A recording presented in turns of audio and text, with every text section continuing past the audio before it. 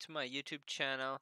Today I'm playing Gas Station Simulator and I'm going to let you guys know exactly what to do if no cars are showing up at your gas station. So, you're not really going to like this answer, but all you have to do is just rejoin the game until you get a game that cars start showing up at your gas station.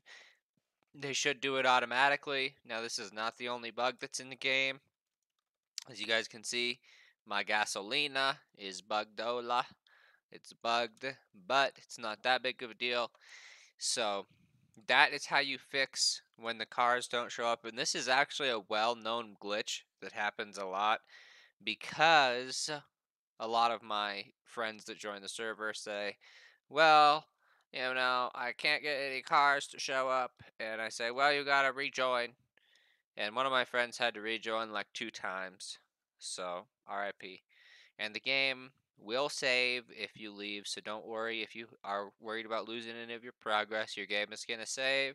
You'll be safe. Just make sure you go buy some of the hottest, softest merch in the game, Masked Mage YT merch, in my group store. So hopefully this video helped you. Leave a like, leave a comment, and subscribe for more.